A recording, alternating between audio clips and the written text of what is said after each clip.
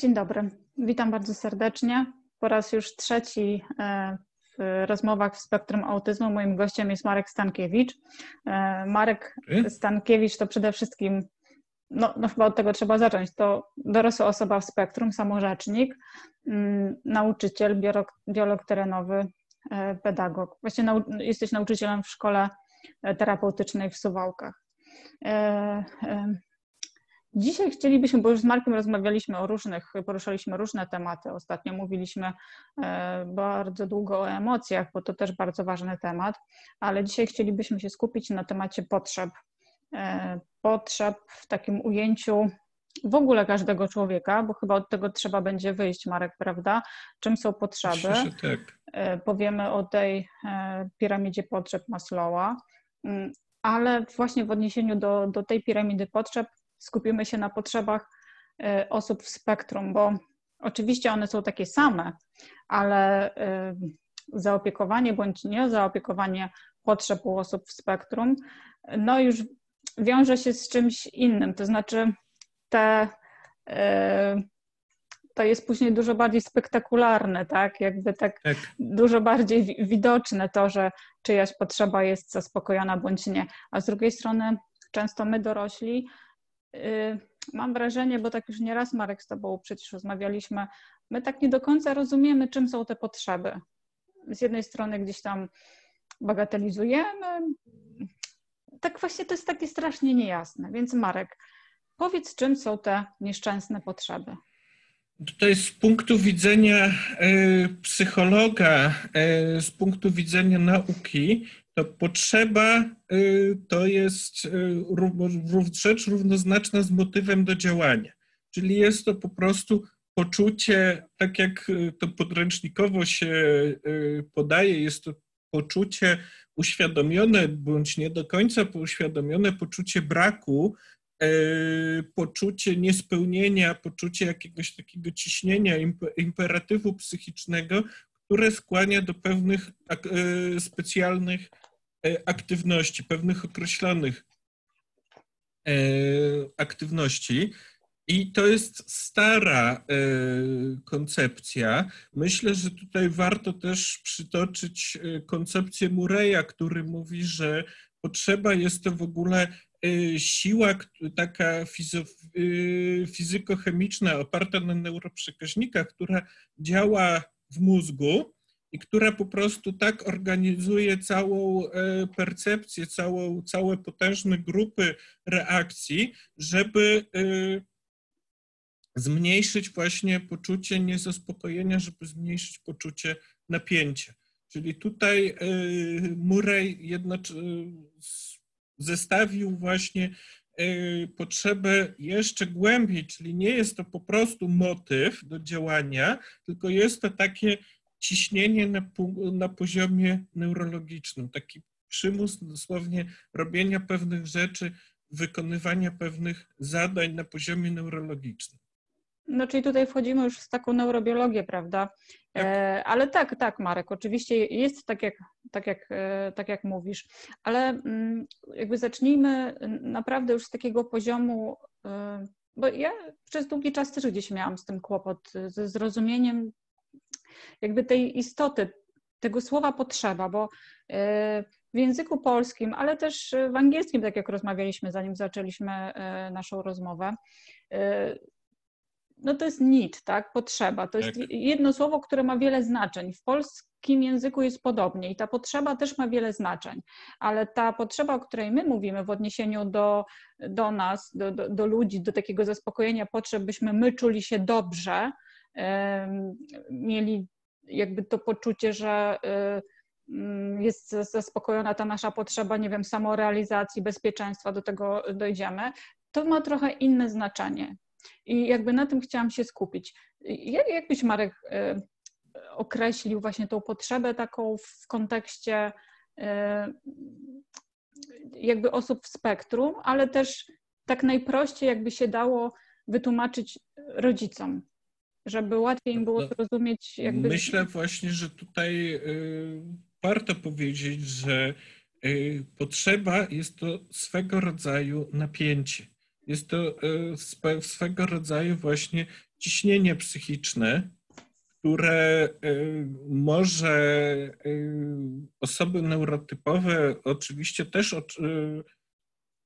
odczuwają, tylko pamiętajmy, że u osób autystycznych ten, e, z tego samego bodźca bardzo często są o wiele większe poziomy pobudzenia, czyli te ciśnienie też jest od razu o wiele, wiele większe. Mhm. No to tak jak, tak jak powiedzieliśmy na początku, tak, to gdy ta potrzeba jest niezaspokojona, to, to wtedy ta reakcja jest taka bardziej spektakularna i gwałtowna. Może być, Często ale nie tak. musi. Mhm.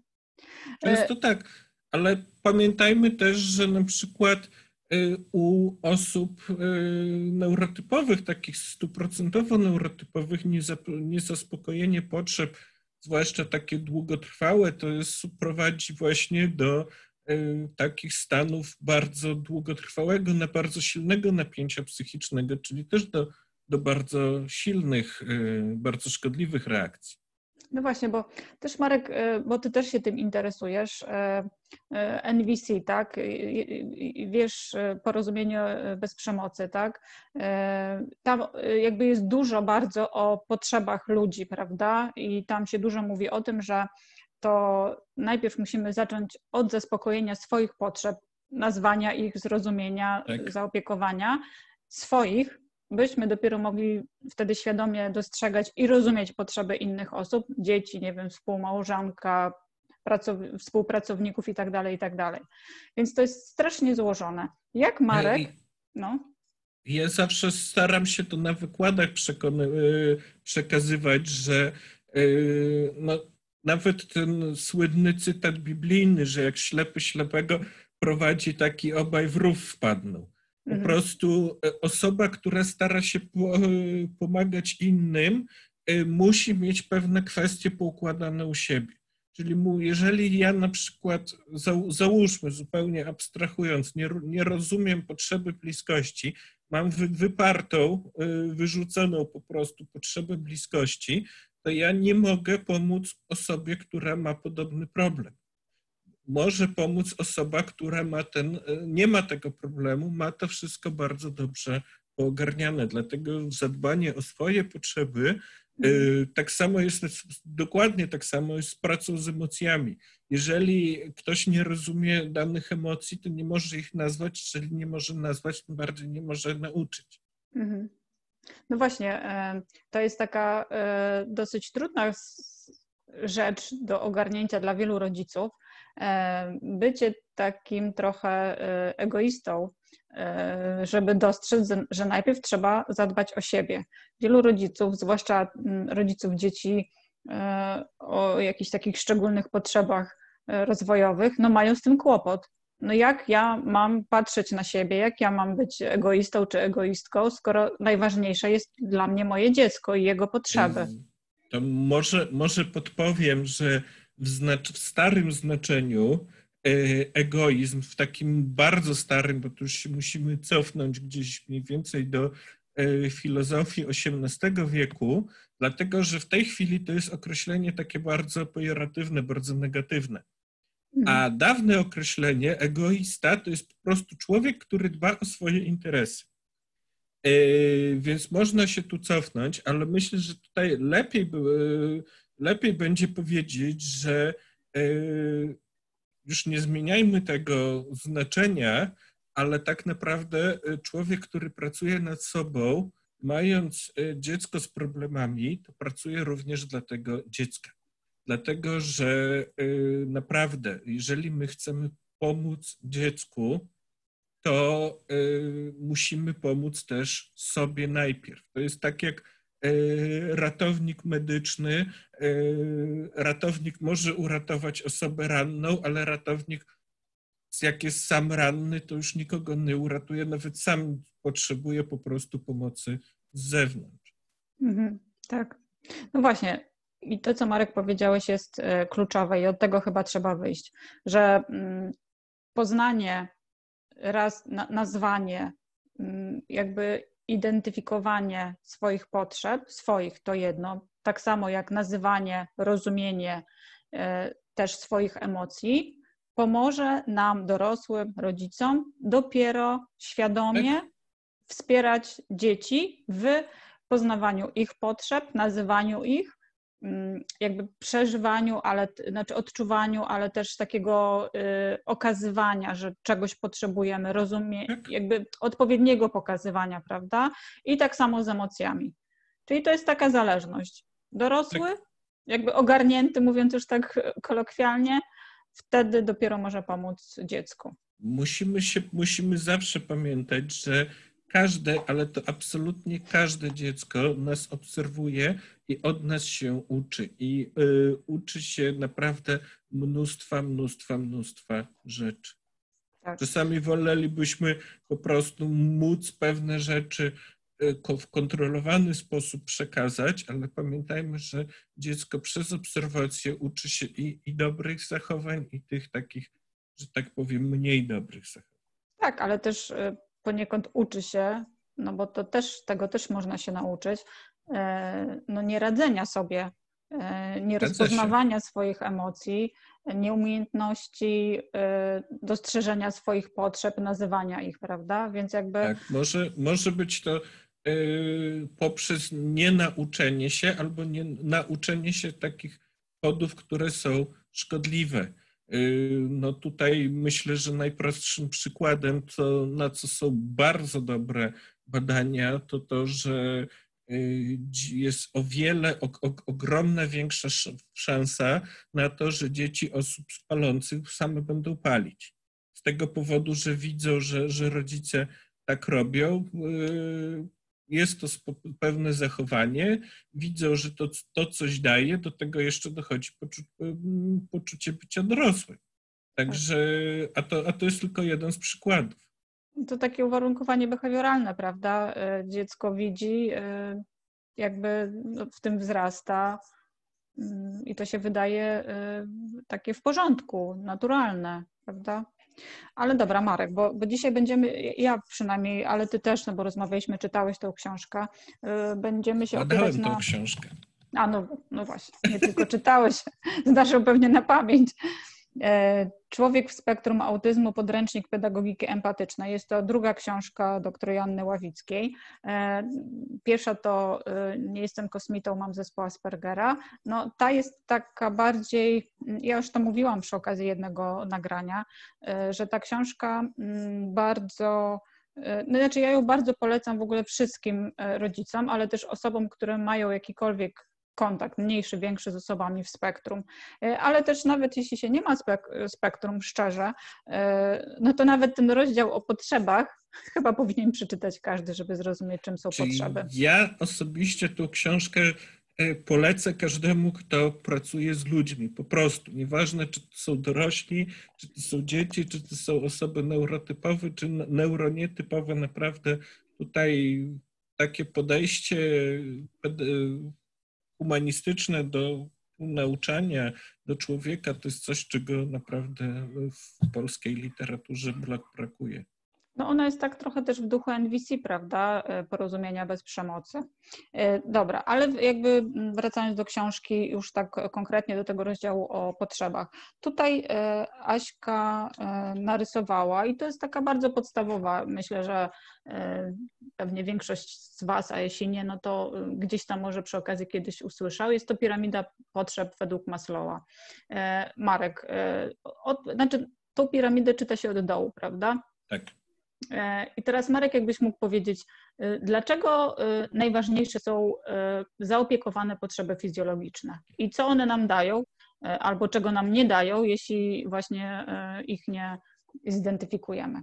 E, przede wszystkim może warto powiedzieć, jak ta piramida powstała. Po prostu pan Masłow robił badania na ochotnikach i robił właśnie badania na hierarchii takich najbardziej podstawowych, najbardziej typowych potrzeb.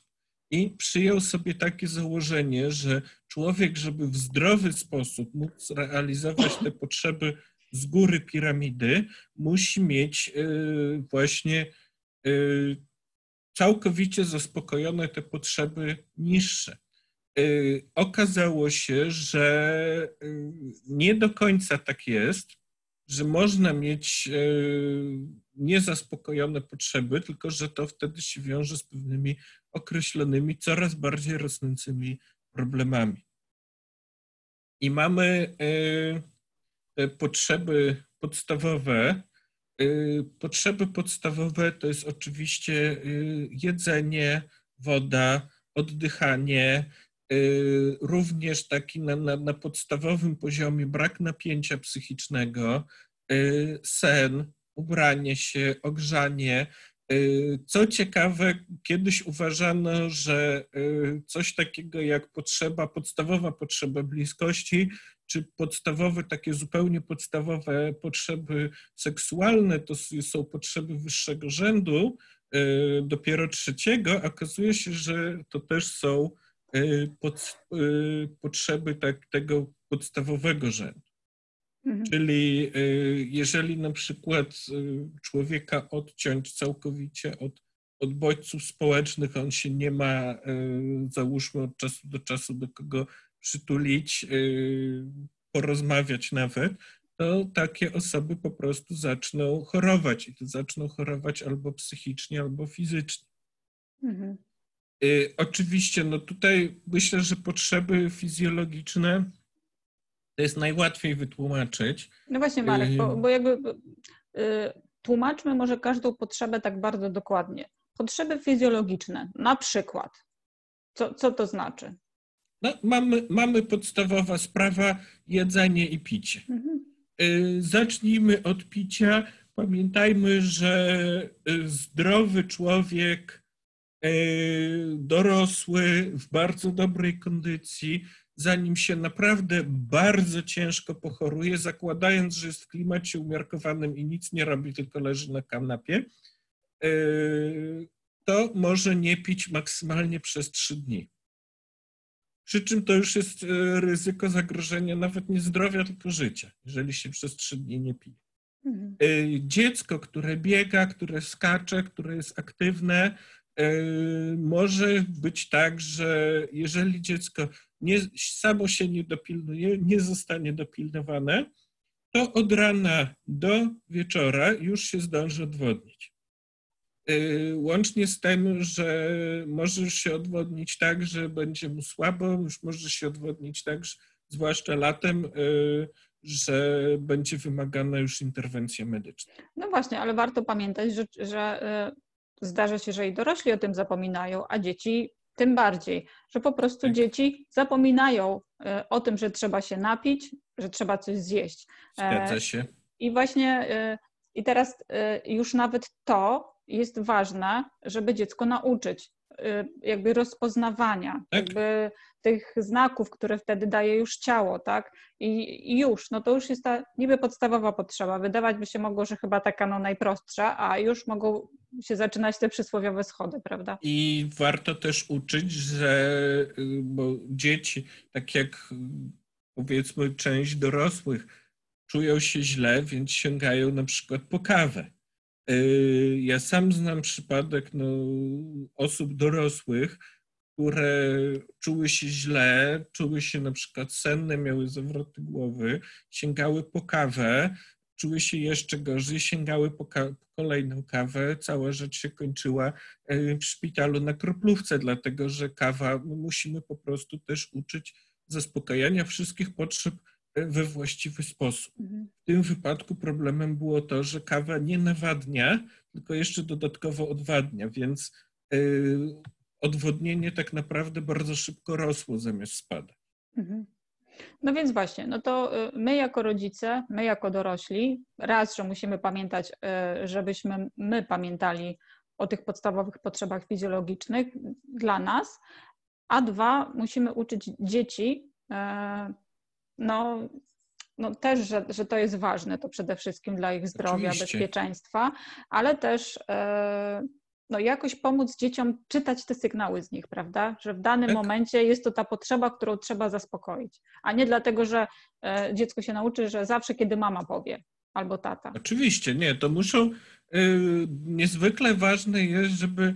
Yy, bo można oczywiście, te, teoretyzujemy, wchodzimy w kompletną behawiorkę, robimy małego robocika, tylko pytanie jest jedno. Co się stanie, jak ten mały robocik, czy już duży robot zostanie bez tego swojego nadzorcy?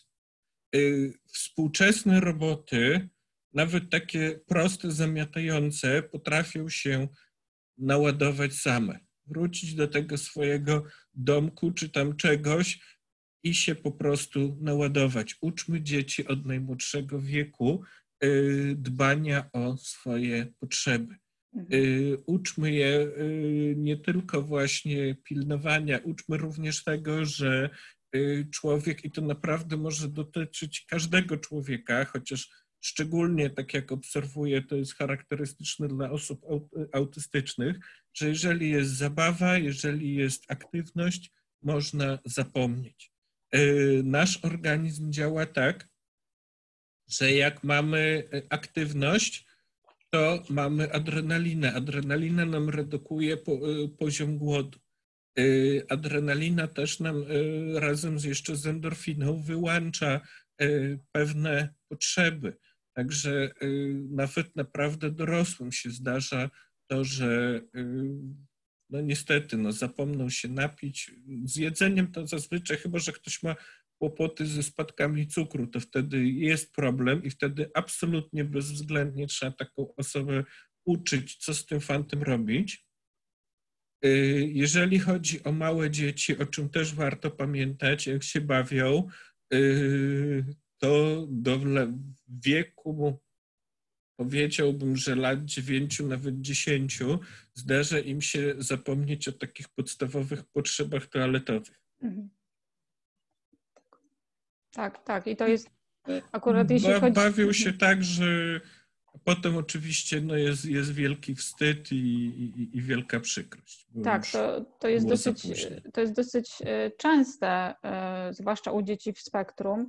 E, ja to też przez jakiś czas obserwowałam u swojego Mateusza, ale też prowadząc grupę rodziców, dosyć często pojawiają się takie posty, że dziecko właśnie 8, nie wiem, 9 czy nawet 10-letnie, ale też 6 i tak dalej, mm, ma opanowaną toaletę już od dawna i nagle się zaczyna coś dziać, że no właśnie no się zapomina, bo jak rodzic opisuje sytuację, no to przeważnie to się dzieje w sytuacji, kiedy dziecko jest czymś tak bardzo mocno pochłonięte tak. swoją pasją, przeważnie.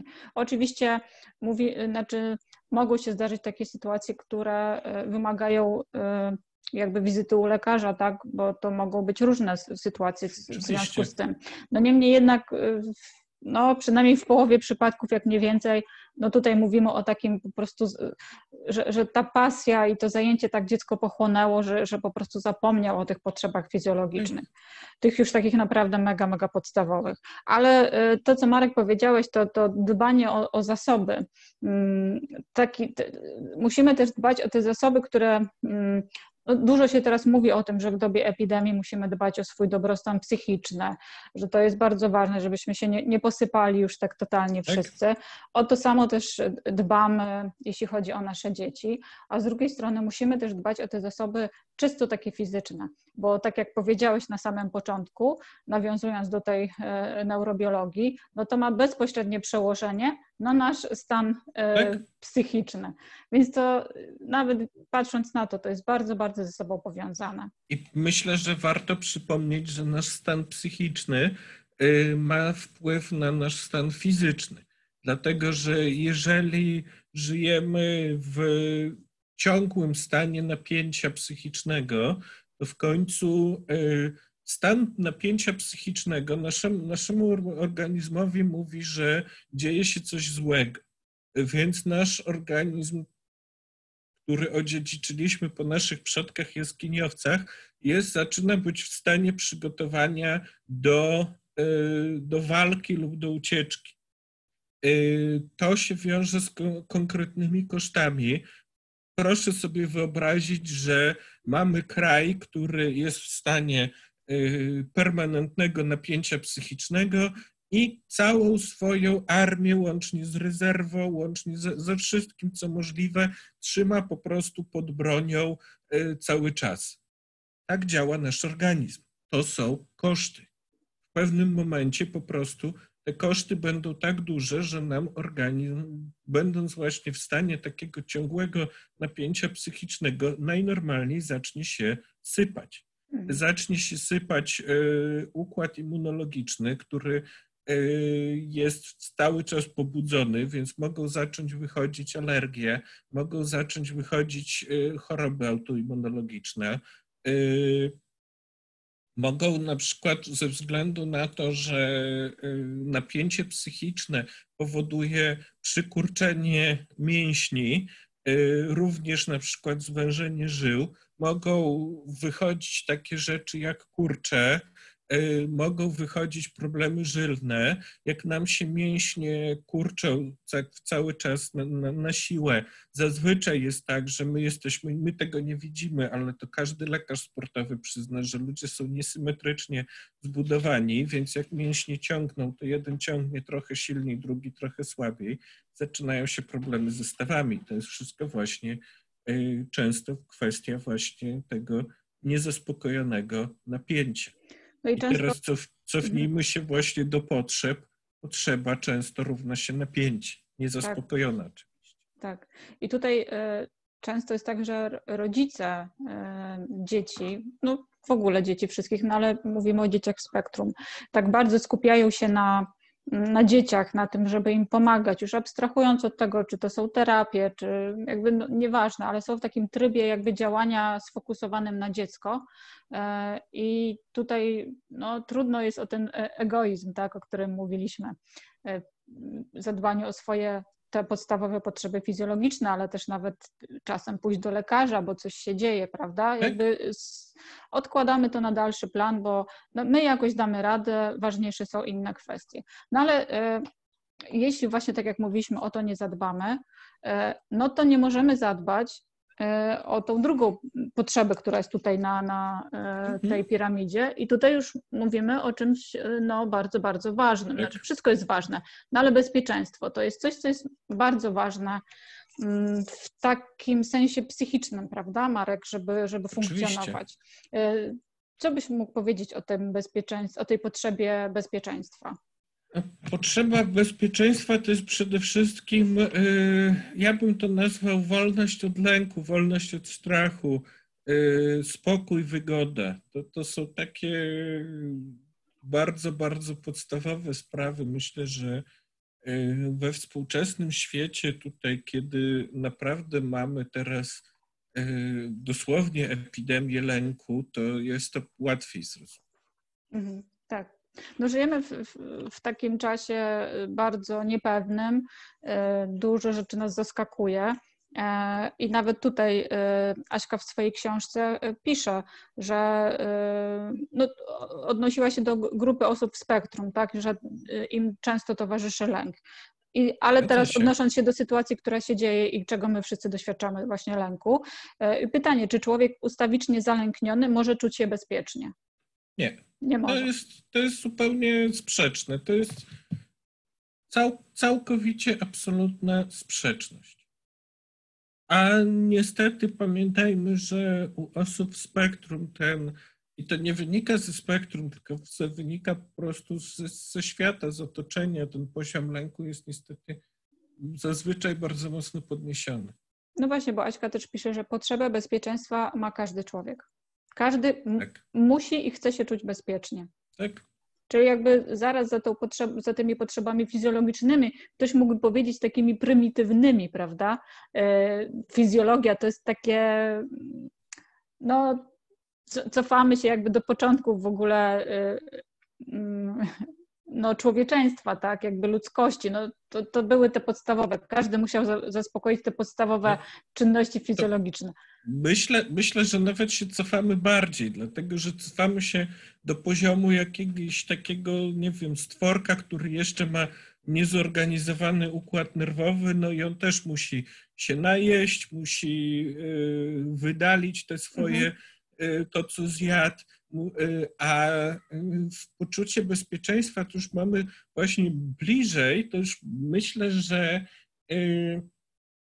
zbliżamy się do e, ssaków, można powiedzieć, czyli to jest cały czas taki bardzo e, niski jeszcze poziom, dlatego tak, ale, że no. Y, no mamy po prostu takie poczucie, że ja jestem bezpieczny i mam szansę przetrwać te następne godziny, dni, a może nawet lata. Ale z drugiej strony ktoś mógłby powiedzieć, e, że potrzeby fizjologiczne to są takie bardzo fizyczne. Ktoś mógłby powiedzieć, jaka tam neurobiologia, tak. jakie emocje w to wchodzą, jakby to jest fizyk, jakby fizyczność tak, człowieka. No okej, okay gdzieś tam mogłabym zrozumieć takie argumenty, że, że, że tutaj mówimy o fizyczności człowieka. Ale już bezpieczeństwo, potrzeba bezpieczeństwa, to już nie jest tylko y, fizyczność, to już mówimy o psychice, o emocjach, tak. prawda? To, to już jest troszeczkę inny, inny level. Tak, to jest już wyższy poziom. Tak, tak. I jakby tutaj, żeby móc y, odczuwać, jakby mieć świadomość, że nasza potrzeba bezpieczeństwa y, jest zaopiekowana bądź nie, to już musimy y, działać na poziomie swoich emocji, czytania swoich emocji, rozumienia emocji. Tak. A nie zawsze tak się dzieje, bo przecież nie zawsze y, potrafimy czytać z siebie, prawda? Zgadza się, bo to jest rzecz, której też trzeba się nauczyć. Tak jak języka nie, uczymy, nie, nie mamy języka w sposób wrodzony, tak samo na przykład rozpoznawania, my rozpoznajemy kolory na Y, poziomie właśnie fizycznym, biologicznym, ale, i to można, mierząc aktywność mózgu, można zbadać, ale jeżeli ktoś by nie nauczył, czy na przykład, nie wiem, byłby jakimś szalonym naukowcem, kompletnie szalonym, kompletnie nieetycznym i na przykład na, nauczył nazywania kolorów w nieodpowiedni sposób, to człowiek by tak właśnie robił. Tak samo jest z emocjami. Jeżeli my, nas emocji Y, nikt nie nauczy rozpoznawania, czyli jeżeli sam nie będzie umiał, to niestety będziemy mieli bardzo duży problem. Mhm. Ja myślę tutaj, że też warto wspomnieć, że y, u osób y, właśnie z, autystycznych, ale w ogóle u osób, które mają jakąkolwiek dowolność, odmienność percepcyjną, to kwestie właśnie odbioru bodźców, odbioru zmysłowego też to zawierają się właśnie na tym poziomie potrzeby bezpieczeństwa. Mhm.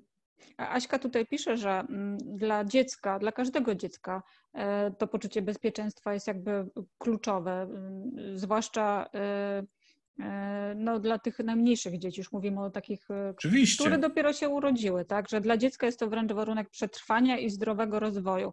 Deprywacja potrzeby bezpieczeństwa we wczesnym dzieciństwie odciska na człowieku swoje piętno na całe życie. Pamiętajmy taką rzecz. No, człowiek, jak się rodzi, jak długo jest zależny od, y, od matki tak naprawdę nie tylko od matki, już cofamy się z czasów współczesnych od swojego plemienia, czyli od swojej grupy. Tak naprawdę y, mniej więcej do 15-16 roku życia. Więc jak na ssaki, to jest naprawdę strasznie długo. No y, więc y, tutaj zwłaszcza dziecko, można powiedzieć, ma na poziomie biologicznym to wkodowane, że bez bezpieczeństwa po prostu nie przetrwa. No właśnie, Marek, tylko teraz pojawia się pytanie, bo y, znamy przecież y, wiele takich osób, czy nawet słuchamy w telewizji, y, gdy, gdy dziennikarze podają jakiś, jest jakiś sensacyjny materiał, że prawda, ktoś, rodzic, czy nie wiem, ojczym jakkolwiek skatował dziecko, albo dziecko jest świadkiem właśnie e, przemocy, nie wiem, alkoholizmu rodziców i tak dalej. No ma absolutnie jakby bezpieczeństwa, poczucia bezpieczeństwa nie ma. I, i, i wiele, wiele dzieci dorasta i później y, są już dorosłymi osobami, w których jakby y, które nie miały poczucia bezpieczeństwa, jakby nie zaznały poczucia bezpieczeństwa. I teraz pytanie, czy można się nauczyć, będąc już osobą dorosłą, raz, że zidentyfikowania tej potrzeby, w sensie, że ona, że, że, że ja tego nie mam, nie mam tego poczucia bezpieczeństwa, co, że czegoś mi brakuje, a to dalej wpływa jakby na całe moje życie, czy można jakby cofnąć się, już będąc osobą dorosłą, co można zrobić, żeby na poziomie emocji nauczyć się y, nazywać wszystkie potrzeby i stwierdzać, że one są, ja ich znaczy, nie potrafię zaspokoić. Tutaj, tutaj mamy dwie kwestie.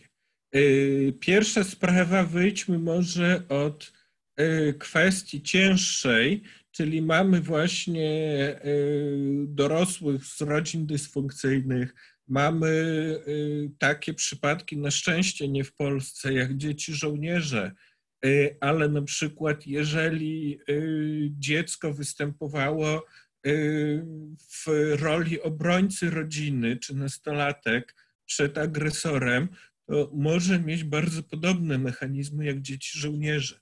I tutaj jak najbardziej jest możliwe, żeby z tego wyjść, tylko to, co, to mówię szczerze, jest potrzebne, naprawdę potrzebne są lata pracy nad sobą i e, to w dodatku pod kierownictwem e, dobrego Terapeuty. psychoterapeuty. Mhm. Tak. Praktycznie rzecz biorąc, teoretycznie samemu dałoby się poukładać, tylko, że to już nie wiem, chyba w międzyczasie trzeba byłoby samemu na sobie zrobić profesurę y, z psychologii. Y, więc od tego mamy pomoc, od tego mamy psychologów, od tego mamy psychoterapeutów. Drugi przypadek Marek... Mhm. no, y, lżejszy to jest po prostu ktoś, kto no, nie został nauczony, zwłaszcza no, mamy w Polsce problem z częścią panów, bo wiadomo, no, chłopaki nie płaczą, prawda, nie bądź mhm. baba, nie wolno, no, nie wolno płakać, nie wolno być smutnym, nie wolno okazywać słabości. okazywać emocji, nie wolno okazywać słabości. Od czasu do czasu można się powkurzać. Jak się, to jest taki stereotyp, bardzo paskudny, bardzo szkodliwy. I potem mamy na przykład y, ludzi, którzy jak się nad tym głębiej zastanowią, no to potrafią tych emocji nazwać, nie wiem, parę, y, z czego w dodatku większość negatywna. Y, I czy, czy można nad tym opracować? Oczywiście można, nie tylko można, ale i trzeba. Tylko teraz Marek, jak, y, bo też mówimy o osobie, która ma tego świadomość, tak, że ta potrzeba bezpieczeństwa E, no nie jest zaspokojona, e, a może nigdy nie była. I jakby ona już ma tą świadomość i, i chce, zakładamy, że chce nad tym pracować. Ale mm, są osoby, które nie mają nawet świadomości, że właśnie, e, że to, że że żyją w jakimś takim poczuciu lęku, że w jakimś może poczuciu, nie wiem, porażki, albo że mu się nie udaje w życiu, poczucie albo winy że bardzo często. poczucie winy, albo że nie wiem, małżeństwo się nie układa, no to znaczy, że to jest wina, nie wiem, męża albo żony, a nie moich niezaspokojonych potrzeb jeszcze z dzieciństwa, właśnie potrzeby tak? bezpieczeństwa. Jak, jak do tego dojść? Czy, czy my sami bez wsparcia właśnie e, specjalistów jesteśmy w stanie sami zidentyfikować, że na jakimś etapie naszego życia potrzeba bezpieczeństwa nie została zaopiekowana? E, jeżeli to by była osoba, która ma naprawdę e, ma odpowiednie narzędzia do tego, żeby się przyjrzeć swoim uczuciom, to, to tak powiem szczerze, teoretycznie jest, jest to możliwe. Y, zwłaszcza z osobami, które długo siedzą w mindfulness, można mhm. zupełnie niesamowite rzeczy na swój temat y, wykryć. Jeszcze do tego trzeba być bardzo otwartym, żeby tego od razu gdzieś tam nie, nie mhm. wyprzeć, nie wyrzucić, mhm. ale tak naprawdę ja bardzo zachęcam do tego, żeby, żeby po prostu szukać dobrych specjalistów z tego powodu, że no, po to są specjaliści.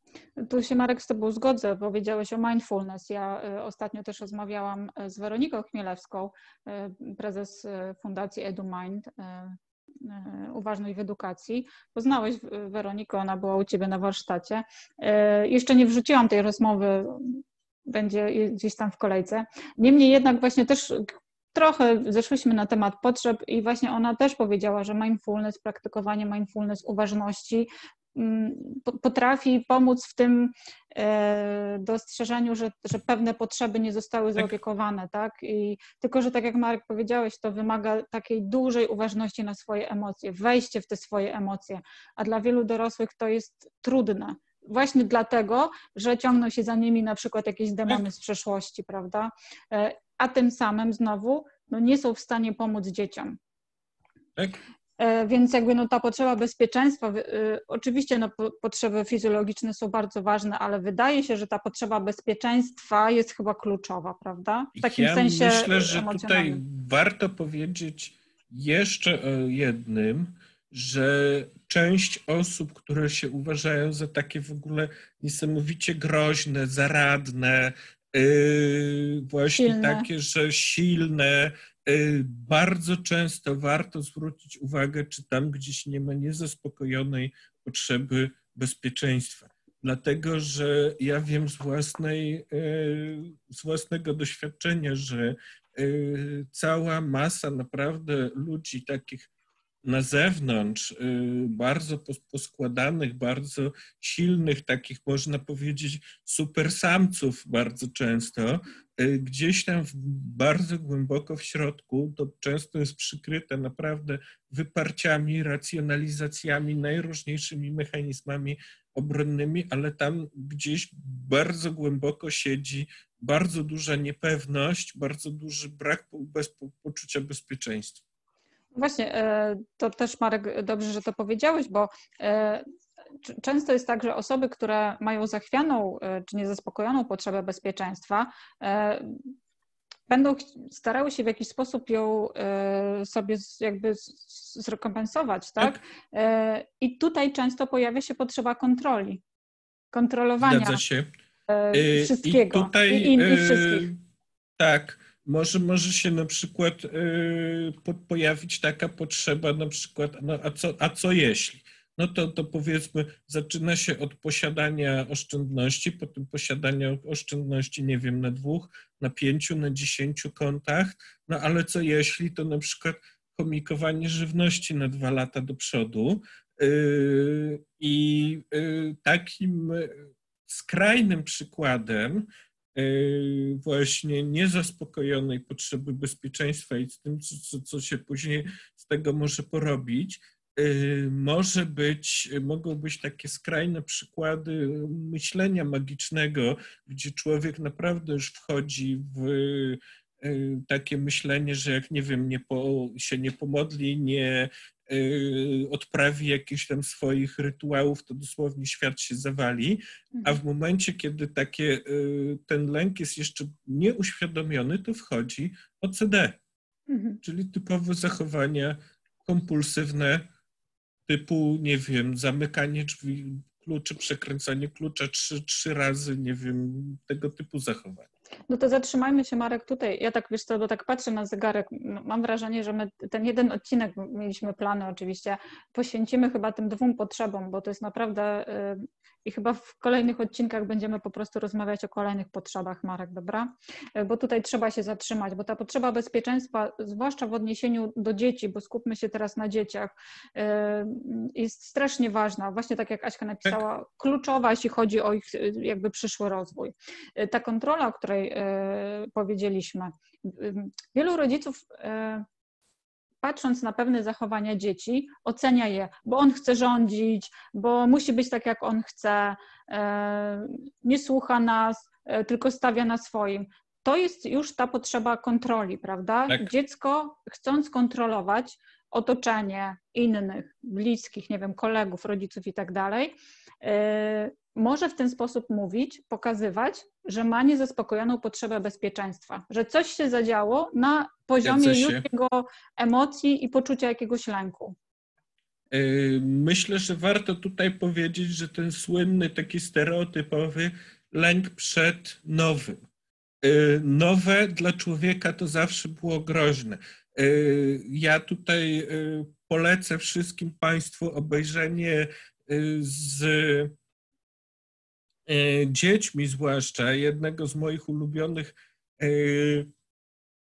filmów, które dzieci niech sobie oglądają po swojemu, a my dorośli obejrzyjmy to okiem psychologa. Ten film to są krudowie. Czego krudowie, czyli ci jaskiniowcy się najbardziej bali? Nowego. I tak jak powiedział e, pan Lovecraft, który był praktycznie ojcem całej literatury grozy na świecie, że największym lękiem, jaki człowiek może czuć, to jest lęk przed nieznanym. Czyli jeżeli jest nowe, jest lęk nieznany, mamy do tego bardzo głęboko niezaspokojoną potrzebę bezpieczeństwa, mamy rzecz nie do wytrzymania.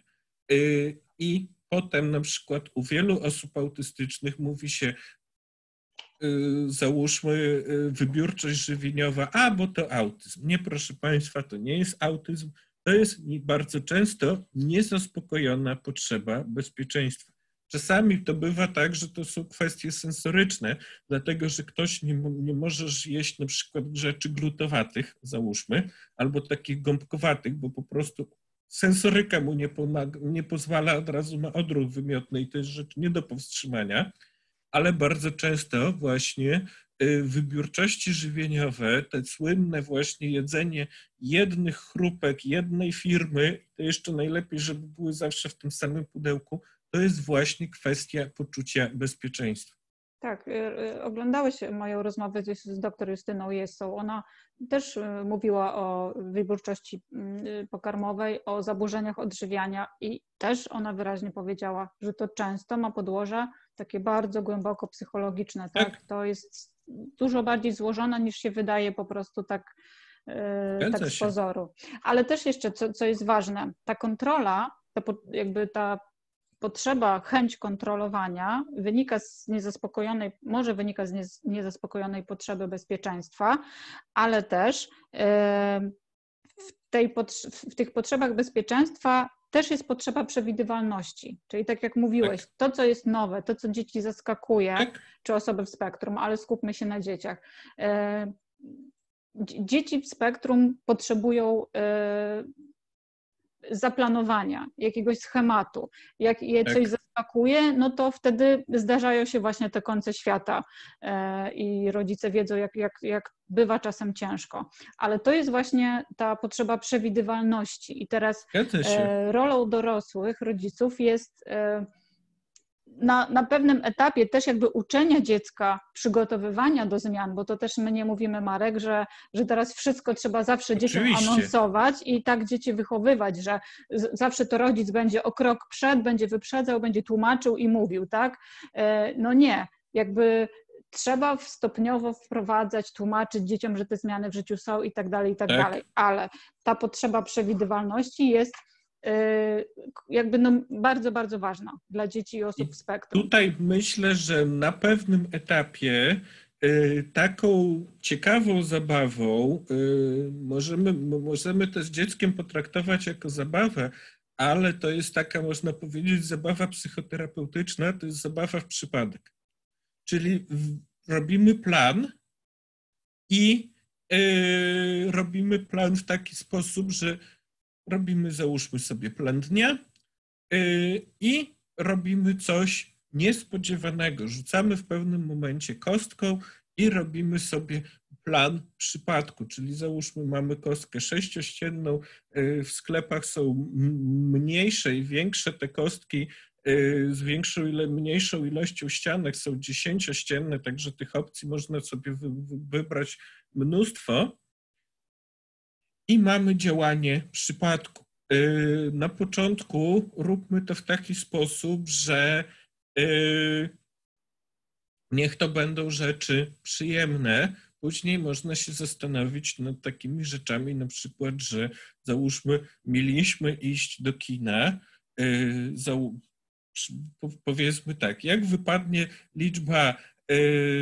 od powiedzmy, nie wiem, jednego do czterech, to idziemy do kina, a jak wypadnie pięć albo sześć, to nie idziemy. I, I to, jest naprawdę, to jest naprawdę bardzo ciekawe ćwiczenie. To jest rzadko stosowana rzecz, ale to jest rzecz, która naprawdę e, pomaga i pomaga się oswoić po prostu w taki sposób z, z rzeczami takimi kłopotliwymi, które e, wytrącają z tego poczucia bezpieczeństwa. Mhm. Część y, osób, też historia praktyczna, y, czasami na przykład źródłem lęku jest punktualność. Y, ludziom się zdarza spóźniać. Czasami ta punktualność jest sposobem naprawdę, na, to znaczy jest to bardzo wielki stres. I teraz na przykład właśnie znowu wchodzimy z tym przypadkiem, yy, przychodzimy 15 minut za wcześnie, spóźniamy się 15 minut.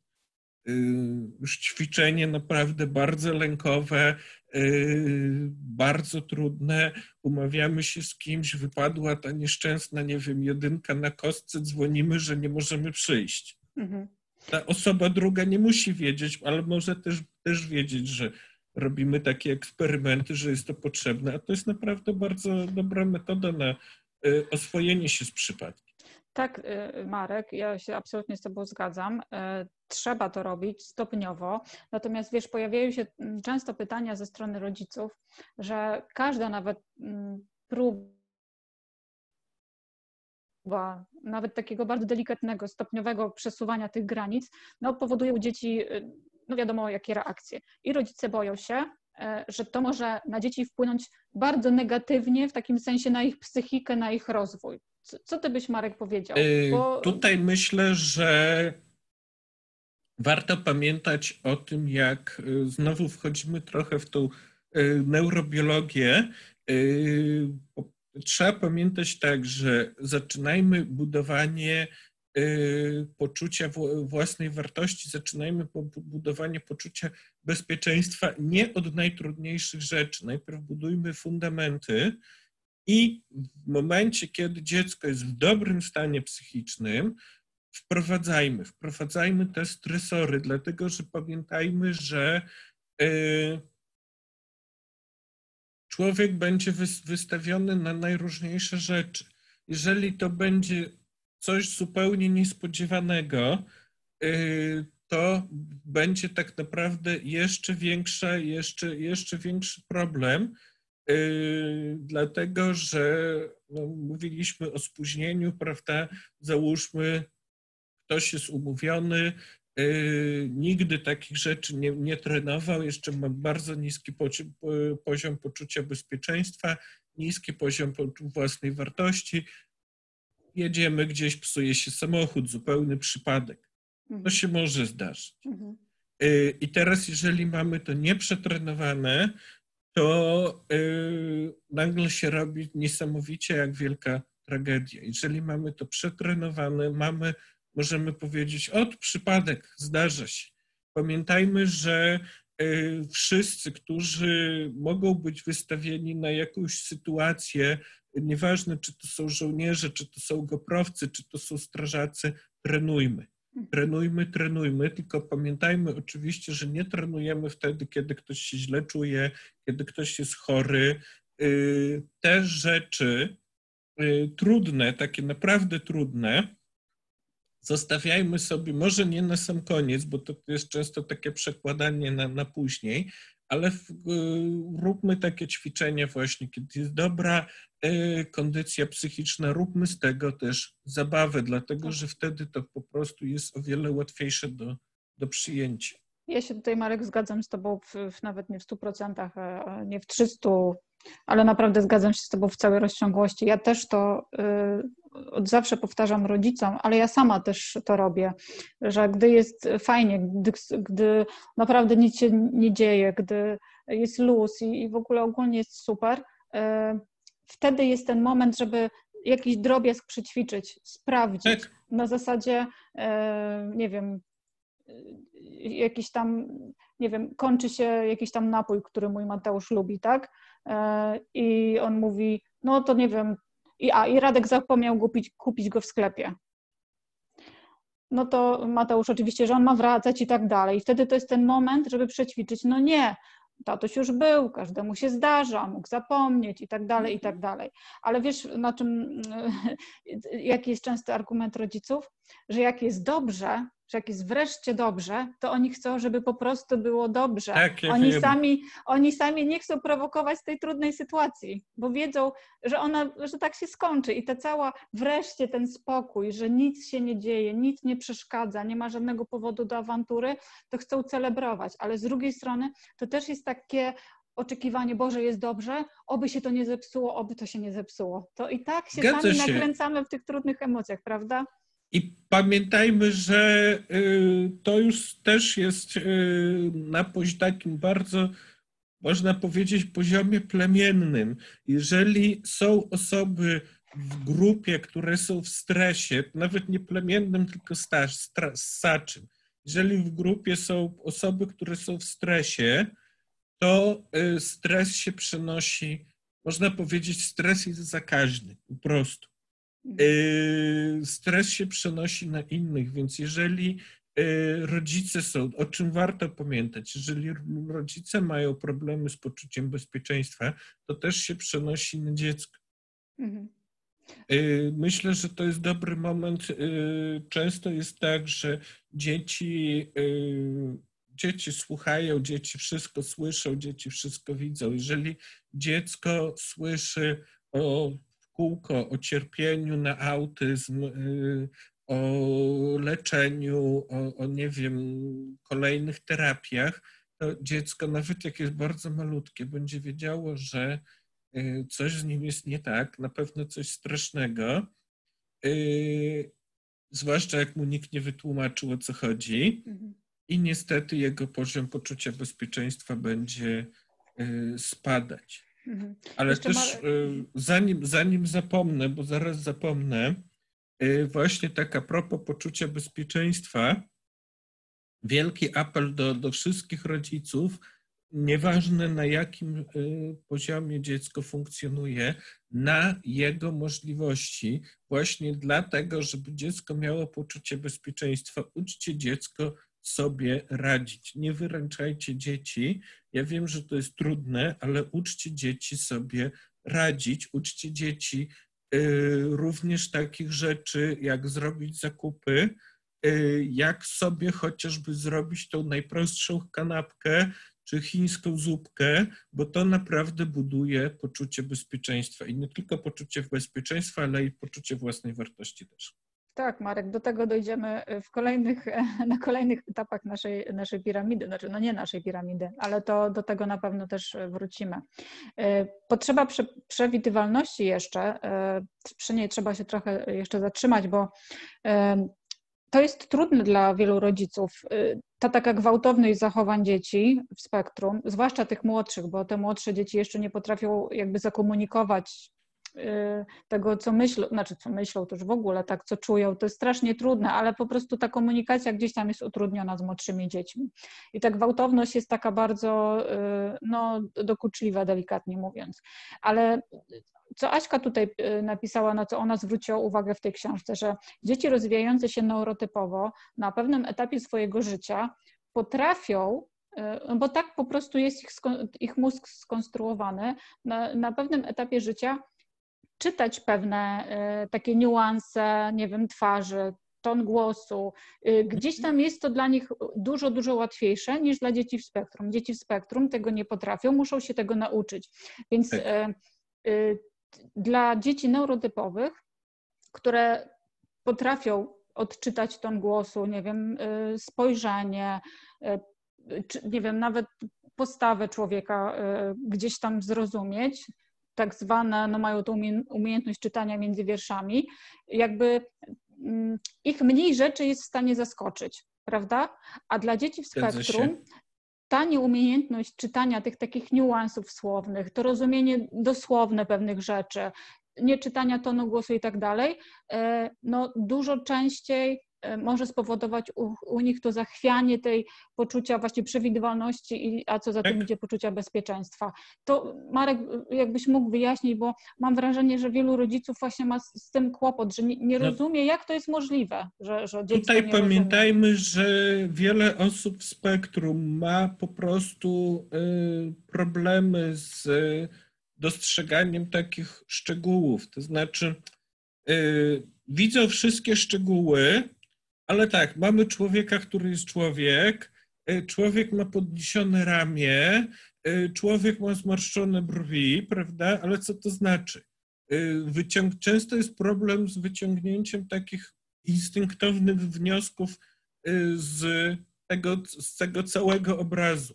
Nawet jeżeli wszystkie poszczególne szczegóły są widoczne. I tutaj bardzo ważne jest to, żeby dzieciom tłumaczyć, co my czujemy w danej chwili.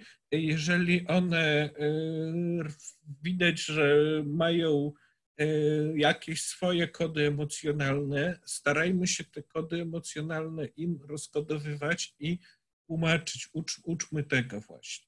Pamiętajmy, że część osób autystycznych też reaguje inaczej. Y, czyli na przykład, y, ale nie tylko, bo część osób neurotypowych ma tak samo, że jak działa się, y, dzieje się coś strasznego, to te osoby się uśmiechają. Mhm. Przy czym no, jest taka teoria, że u niektórych naczelnych właśnie taki swego rodzaju specyficzny uśmiech to jest oznaka napięcia. Może to się z tego wzięło, ale tłumaczmy. Y, jest to słynne machanie rękami, które może być na przykład wyrazem ekscytacji, ale nie musi. To może być, trzeba u, u danej osoby y, wybadać. Także y, no właśnie, Marek, bo to, może, bo to może być sposobem do zaspokojenia potrzeby bezpieczeństwa, prawda? Tak. Taka ekspresja. Tak, jak najbardziej, bo to może być na przykład metoda na zrzucenie napięcia. Bardzo mhm. często te tak zwane zachowania autostymulacyjne, czyli stimy, to jest właśnie y, zrzucenie napięcia. Ale y, myślę, że tutaj też warto powiedzieć, pamiętajmy, że część osób w spektrum nie rozpoznaje y, wyrazu twarzy, po prostu nie rozpoznaje. Mała część, i to jest bardzo kłopotliwa sprawa, która też niestety nie sprzyja poczuciu bezpieczeństwa, y, nie rozpoznaje twarzy w ogóle. Y, dlaczego tak się dzieje, to neurolodzy nad tym pracują. My możemy powiedzieć, nie wiemy, tak z punktu widzenia psychologa, z punktu widzenia pedagoga.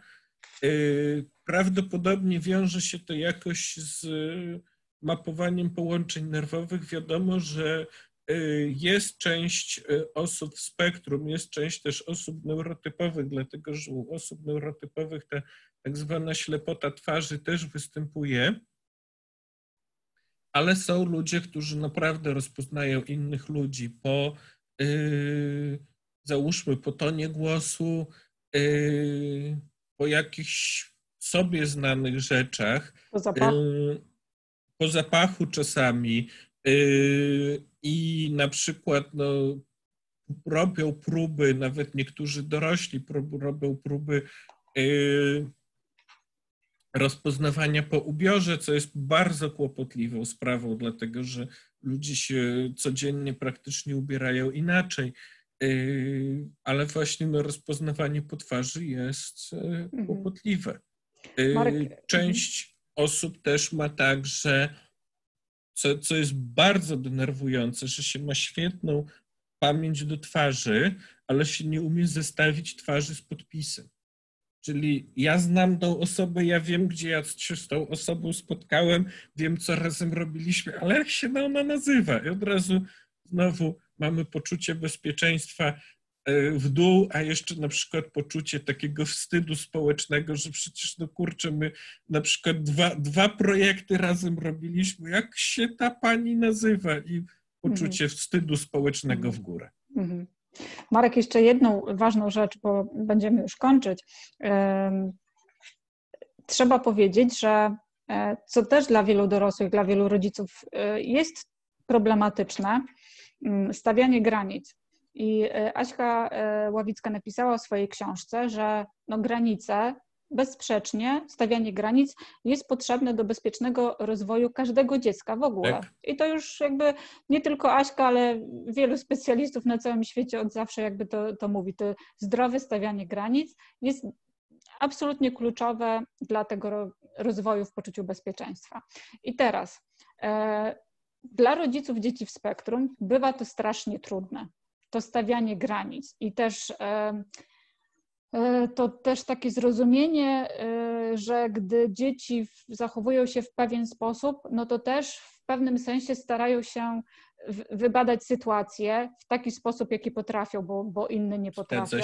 E, I w ten sposób starają się budować swoje poczucie bezpieczeństwa. To jest strasznie zawiłe, ale to też nawet jak mówił profesor Tony Atwood, jak, jak byłam e, na konferencji, e, tutaj jeszcze w Warszawie Fundacji Synapsis, on też wyraźnie mówił o tym stawianiu granic i też wyraźnie mówił, że to może czasem naprawdę wydawać się i on tam nawet użył takiego sformułowania e, mm, terrorysta i zakładnik, chyba porównując dziecko i rodziców, że to czasem może przybierać taką formę, że, że mhm. dziecko wręcz terroryzuje rodziców, e, ale jakby trzeba stawiać te granice. A Aśka tutaj Koniecznie. napisała też, że dziecko w spektrum autyzmu, autyzmu swoje badanie granic i próby ich naruszania rozpoczyna również od strategii ofensywnych. I teraz Marek, jak byś mógł wytłumaczyć? To jest dobre w sensie rozwojowo. Fajnie, że dziecko y, bada, y, jak może te granice tak. naciągać, tak. na co sobie może pozwolić. A z drugiej strony, no tutaj jest ważna ta taka mądrość rodzica, żeby też miał świadomość tego, że dziecko w ten sposób buduje swoje poczucie bezpieczeństwa. I Oczywiście. Ro, rola rodzica jest tu kluczowa. Rola rodzica jest tu absolutnie kluczowa. Yy Tutaj akurat bardzo dobrze się sprawdza e, metoda po prostu wprowadzenia zasad, e, zasady bardzo ważnej, że e, zasady egzekwujemy w sposób bezprzemocowy, żeby przypadkiem nie nauczyć zachowań przemocowych. Zasady są te same dla wszystkich Nieważne, czy to jest syn, czy córka, jak jest rodzeństwo, nieważne, czy to jest mama, czy tata, a jeszcze z dziadkami bywa problem. E, starajmy się naprawdę, bardzo się starajmy zasady, e, wprowadzać, że są te same zasady, jedno prawo dla wszystkich. Mhm. I dla poczucia bezpieczeństwa dziecka jest ważne, żeby te zasady były, żeby one były jasne, wbrew pozorom też jest ważne, żeby były egzekwowane, ale też pamiętajmy, każde dziecko jest dzieckiem i na pewnych etapach swoich mamy ten swój słynny bunt dwulatka, bunt trzylatka, tak, bunt latka. pięciolatka, a na nastolatki to w ogóle grunt to bunt. I y, dziecko będzie sprawdzać, będzie sprawdzać, jak daleko się może posunąć, jak może te zasady nagiąć, jak może je złamać, jak może je olać. Y, I to jest naprawdę, no tu, tutaj wchodzimy naprawdę w bardzo skomplikowane relacje, ale pamiętajmy, w wychowaniu dzieci właśnie jasne zasady, egzekwowanie zasad i konsekwencja to jest naprawdę niesamowicie ważne. I tutaj chyba ważne też, Marek, podkreślić tą taką zależność pewnych rzeczy wynikających z siebie, bo jeśli zadbamy o to bezpieczeństwo przewidywalności u dzieci, czyli jeśli na przykład my jako rodzice będziemy dzieci przygotowywać na zmiany, uczyć też ich tych, e, tego, że życie no nie jest stałe, niezaplanowane, że coś się może wydarzyć, to dalej jakby to testowanie dziecka, y, przeciąganie tych granic też może być wtedy mniej gwałtowne, prawda? Więc jakby Oczywiście. to znowu wszystko zależy od, od rodziców, ich znowu wracamy, Marek, powtarzamy w kółko, do ich wiedzy i świadomości, czym jest spektrum autyzmu, tak? Tak. Bo, bo tak jak powiedziałeś, e, i ta narracja już od, od jakiegoś czasu idzie w tym kierunku, że e, spektrum autyzmu to jest inny wzorzec e, po prostu rozwoju mózgu, prawda? Jakby mózg tak. inaczej się rozwija, inaczej, inaczej funkcjonuje. Nie w tym sensie lepiej, gorzej, ale inaczej.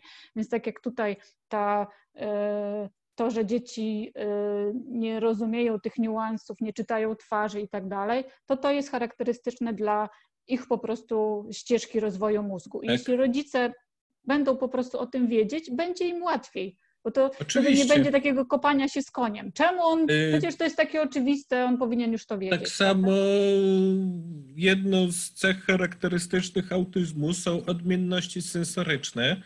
I teraz y, wiemy, jak to działa, wiemy, że to może wystąpić. I wiemy, że y, załóżmy, dziecko ma nadwrażliwość na światło, to zamiast mówić, a bo ty przesadzasz tego, wcale nie jest tak jasno w ogóle, a kto to nosi ciemne okulary w sklepie, my możemy powiedzieć, widzę, że mhm. myślę, że się źle czujesz, załóż swoje, może załóż swoje okulary. I wtedy od razu mamy spadek właśnie poczucia dyskomfortu, co za czym idzie spadek poczucia lęku, nagle mamy, nie mamy tych słynnych zachowań trudnych. Tak, tak, dziecko, yy, tak. Mhm. Ja zawsze, jeżeli chodzi o komfort sensoryczny, to pamiętajmy, że komfort sensoryczny oprócz tego potrzebuje każdy, absolutnie każdy człowiek. To jest naprawdę y, jedna z potrzeb kluczowych i właśnie y, potrzeb z y, tego gatunku poczucia bezpieczeństwa. No, wyobraźmy sobie na przykład, jakby ktoś nam kazał mieszkać na, na dworcu. I teraz wyobraźmy sobie dziecko, które ma nadwrażliwość słuchową oczywiście nie tylko nadwrażliwości, nie do wrażliwości, też pamiętajmy o nich, uczmy dzieci radzić sobie z tym. Mhm.